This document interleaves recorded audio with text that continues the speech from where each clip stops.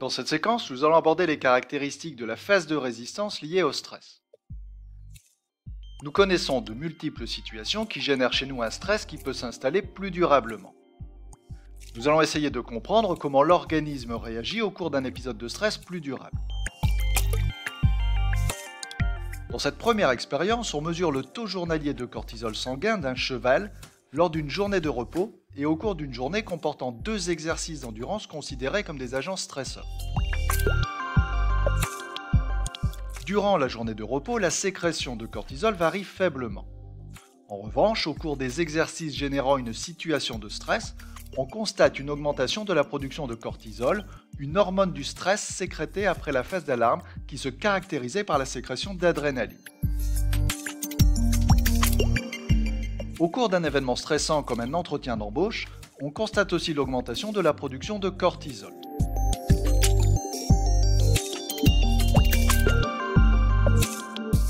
La production de cortisol associée à un événement stresseur dépend néanmoins de la réactivité individuelle au stress de chaque individu.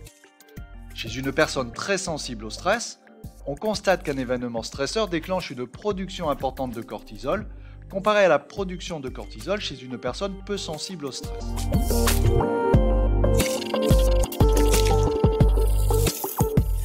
L'adrénaline et le cortisol sont deux hormones produites dans une situation de stress.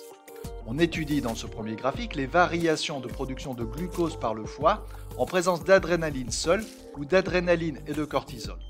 Ces deux hormones, surtout lorsqu'elles sont produites ensemble, agissent sur la production de glucose dans le foie à partir de ses réserves de glycogène, afin d'augmenter la concentration sanguine en glucose pour le rendre disponible pendant la situation stressante. En présence de cortisol seul ou d'adrénaline seule, l'augmentation de la glycémie reste modérée. En revanche, la production conjointe d'adrénaline et de cortisol pendant une période de stress entraîne une augmentation significative de la glycémie.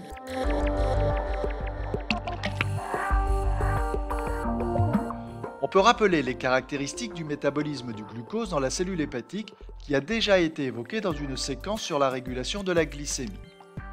Le glucose sanguin peut entrer dans la cellule hépatique afin de subir des transformations métaboliques dans le cadre de la glycogénogénèse, permettant son stockage sous forme de glycogène. L'inverse, en cas de besoin, les réserves de glycogène peuvent subir des transformations métaboliques dans le cadre de la glycogénolyse pour fournir du glucose sanguin. Comment le cortisol agit-il sur le foie pour augmenter la glycémie? En se fixant par l'intermédiaire de récepteurs spécifiques sur ces tissus cibles, le cortisol peut déclencher des transformations métaboliques au niveau du foie pour produire du glucose qui sera libéré dans le sang.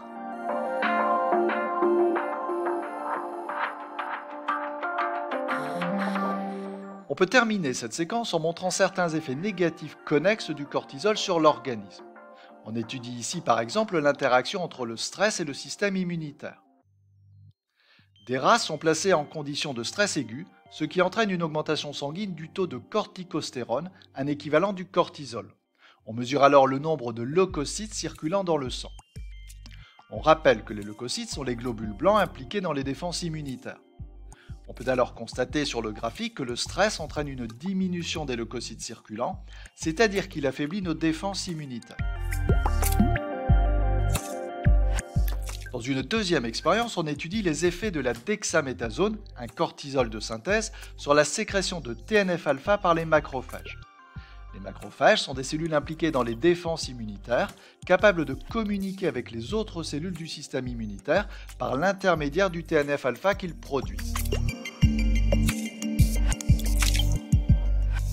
En l'absence d'agents pathogènes comme les bactéries et en absence de dexaméthasone, les macrophages ne produisent pas de TNF-alpha.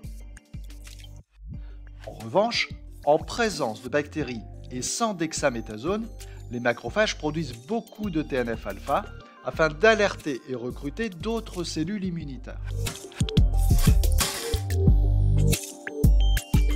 On étudie maintenant les effets de doses croissantes de dexaméthasone, équivalent du cortisol, sur la production de TNF-alpha par les macrophages constate que plus la dose de dexaméthasone augmente, moins les macrophages vont produire de TNF-alpha à même de recruter d'autres cellules immunitaires. On comprend donc que le cortisol sécrété au cours des épisodes de stress entraîne un affaiblissement des défenses immunitaires.